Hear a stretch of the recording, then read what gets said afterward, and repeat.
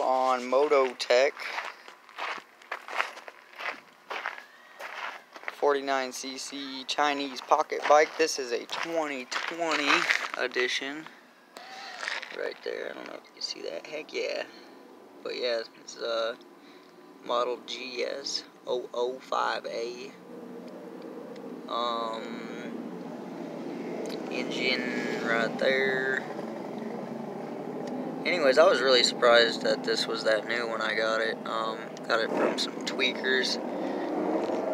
Just a little bit of a frayed brake cable when I got it. I need to replace that still. Um, I replaced this to a newer carburetor, the little faster one or whatever they call it, their little racing one. It's just a better air cleaner, that's all it really is. But anyways, um, uh, other than that, it ran when I bought it. It started, but the back tire wouldn't stop spinning because the clutch was hung up. They didn't even know that that little black thing in there, that little black box is a clutch. they're really cheap, they're like 20 bucks. But I took it apart and there was the nut that holds the flywheel together that the clutch expands on was frozen up. It was seizing on that nut that uh, spun off. So I just put that back on and it was pretty chewed up so I bought a new one.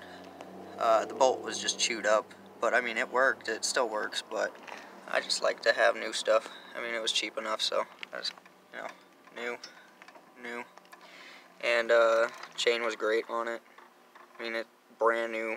I don't know what month that said, I don't remember but anyways it was pretty new. I mean it's 2020, we're in 2021 so we just stepped into 2021. I put LEDs under her, but MotoTec, kind of a garbage little engine.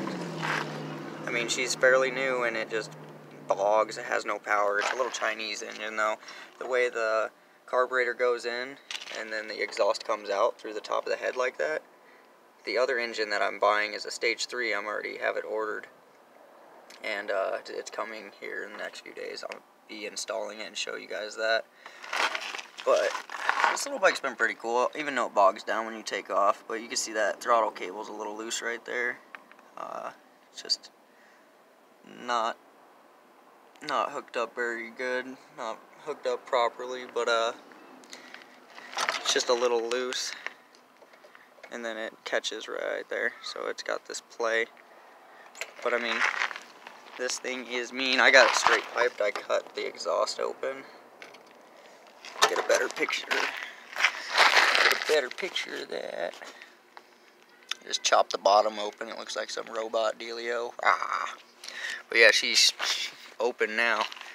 So it's got a lot more uh, bottom end torque, I believe, now. It feels like it anyway. I'm starting to rub the tire. But let me start it up. Uh, review on this thing, uh, I mean, 400 bucks, I think you can buy them new. The cheapest you can get them online. It's, they're pretty cool, I mean. I don't have too much to complain about with them. Oh, that's my brake adjustment, I guess.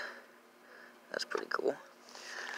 But, oh, here's another little thing I need to adjust. This was actually not the original motor with this. This motor came off my skateboard that's the original motor.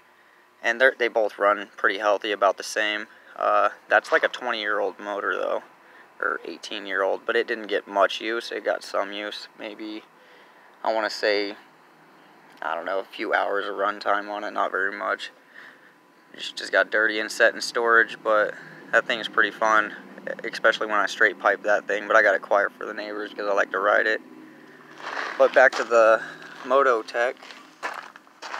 It is a good little pocket bike. I would just recommend putting a different motor in it. The frame is amazing. It's there. It seems pretty solid for a bigger guy, you know. It's pretty fun. I mean, I look ridiculous. My knees come up here, but it she's very fun to ride. And the kids will like it when they can get riding it.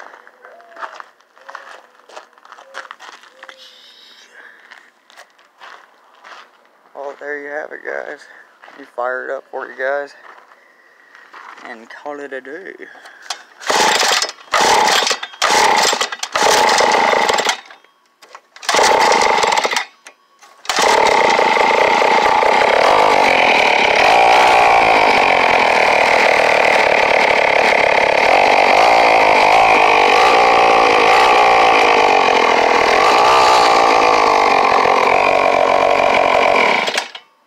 and the kill switch.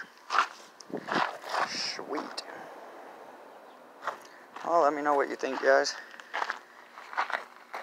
Like and subscribe if you'd like. J-Rad out.